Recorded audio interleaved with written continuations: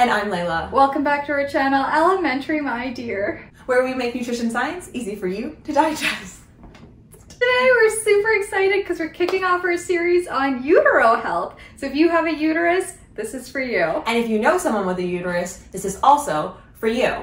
Make sure you hit that subscribe button so you never miss one of our videos. I think we can't talk about utero health without talking about our precious Aunt Flo. When the Red River comes to town, I don't know. when the Red River flows, our monthly gift. From Mother Nature. Is there anything you can do to kind of optimize your health as we go through this? Uh, we're talking about menstruation. Anyone who's gone through menstruation, I'm pretty sure is pretty familiar with it, but we'll do a brief overview of what it is um, for people who are less familiar.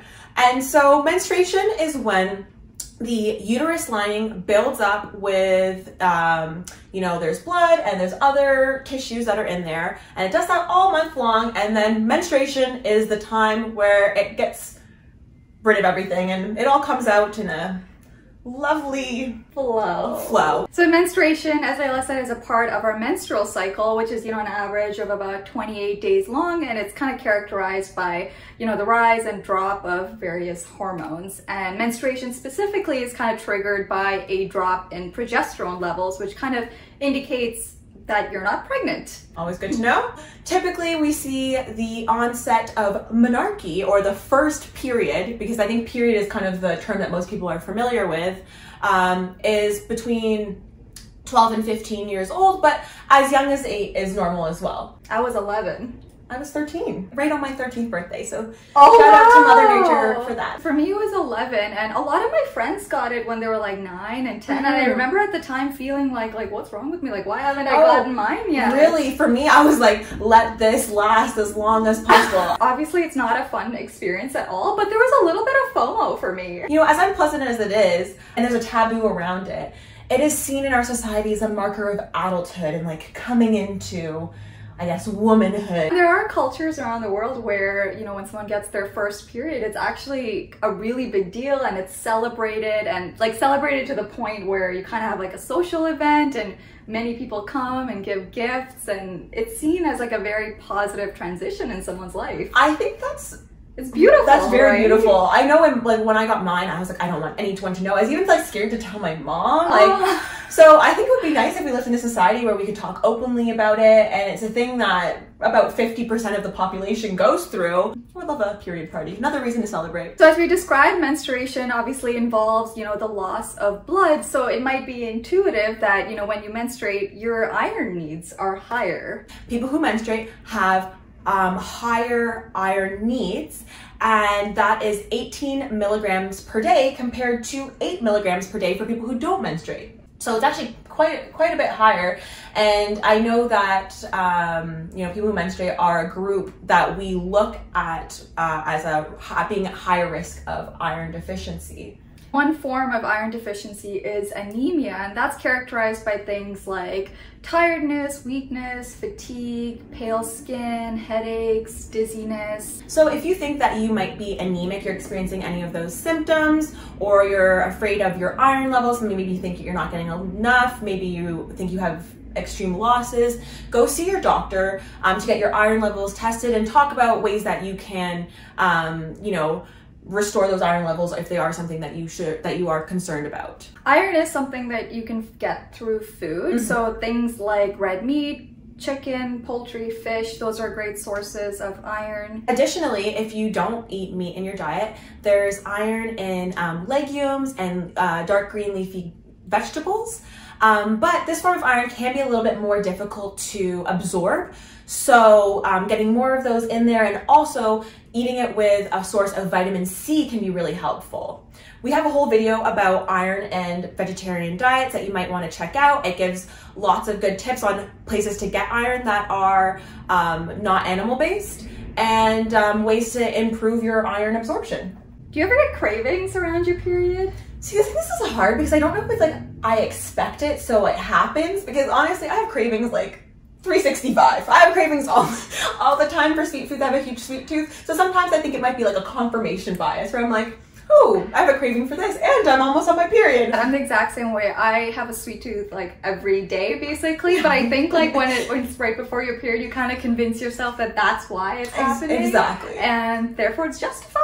I don't know. I don't know. yeah, but you know, I kind of have to wonder, like do are these cravings because your body has an increased need around the time of your period? So there are studies that look at people as they go through their menstrual cycle and monitor their basal metabolic rate as they go through their menstrual cycle. And basal metabolic rate, you know, that's the amount of energy you burn while at rest. If you want to know more about that, check out our video on calories. What they found was the um, basal metabolic rate fluctuates throughout the cycle and it's at its highest right before your period and at its lowest um, right at the end of your period, which is actually quite interesting because, you know, you kind of think you're getting cramps during your period and you kind of feel a little icky, so maybe your body would be using more energy, but it's actually quite the opposite. Yeah, I think it shows that, you know, the, the entire month or the other part of your menstrual cycle where your uterine lining is kind of getting thicker and thicker, that actually takes energy for your body to do that. That lining is quite nutrient dense. It's there to support a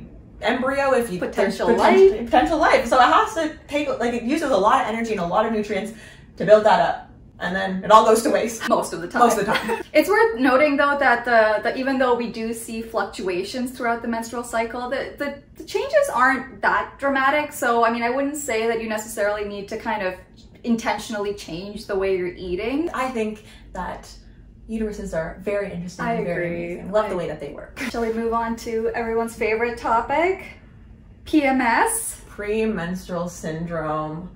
And I'm sure anyone who's experienced premenstrual syndrome is familiar with the uh, many, many symptoms.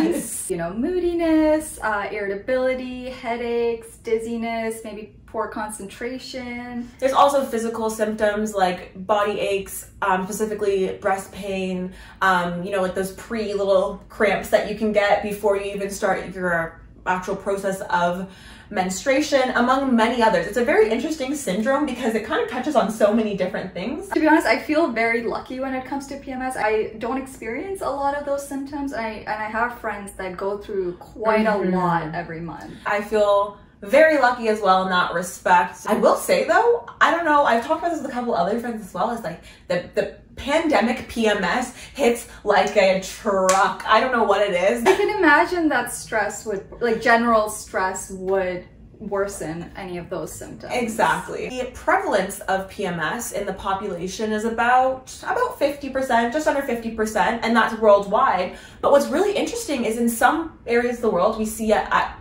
at prevalences up to 98%, which is basically like everyone. And other places it's really low, like 12%. We were kind of chatting about this earlier, like kind of trying to try to understand or speculate why that might be, you know, whether is it actual physiological differences or is it more, you know, cultural, societal, you know, how much things are talked about or how much people are aware that this term even exists. Or even cultural understandings as to what PMS is. So you might be wondering, you know, is there anything you can actually do, you know, if you happen to be someone that does experience a lot more of the symptoms? And turns out there kind of is, there are things you could do. Which is good to know. I'm sure anyone who experiences PMS is probably happy to hear that there are things to do. Although, when you hear what it is that you could do, you might be less excited about it. Uh, the first main one is actually exercise. Studies consistently find that really the, the, the meta-analysis that I read said any form of exercise, although the types of exercise that are studied for women are very gendered. I find that we were just talking about this. It was like yoga, Pilates, aerobics.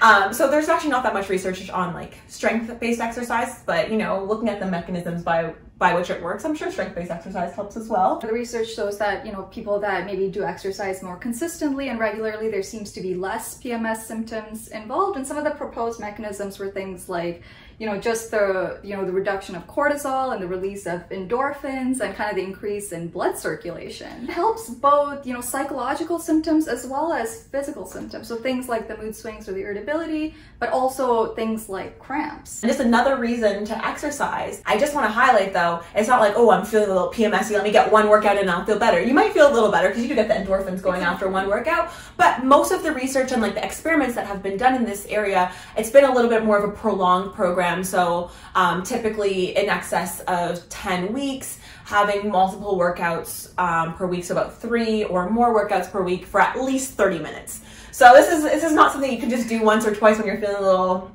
un, un, I guess not under the weather, but a little PMSy.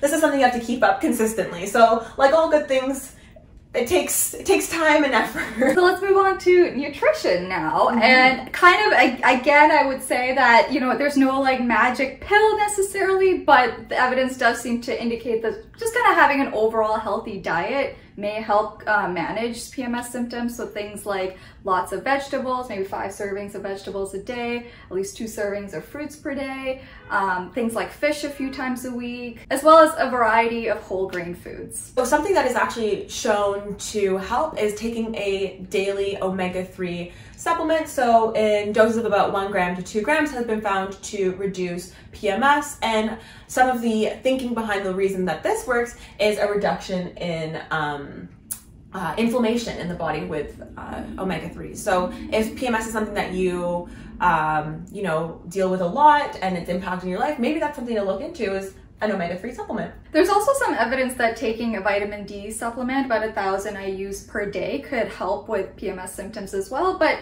you know, the research on that is a little, you know, it's a little unclear. We're not sure about the mechanisms. Um, but I think a lot of people benefit from taking vitamin D supplements regularly anyway, so that's certainly an option. That's the 411 on lifestyle, nutrition, and menstruation. Um, menstruation is something that affects 50% of the population at some point in their lives. And it's important to know about the nutrition and lifestyle factors that can help or relieve some of the more negative effects of menstruation. Yeah, everyone experiences menstruation differently. I know some people have experienced much harder symptoms while other people might be able to kind of go through it a little easier. But, you know, nonetheless, everyone that menstruates, we are losing quite a bit of um, blood and iron on a regular basis, so prioritizing iron is important. And you know, just eating a variety of very nutrient dense foods is something that seems to help manage any negative symptoms like that are involved with PMS. Thank you so much for watching. Make sure you like, comment, and subscribe. Hit the notification bell so you never miss one of our videos and follow us on our Instagram and our TikTok. Thank you for watching. Bye. Bye.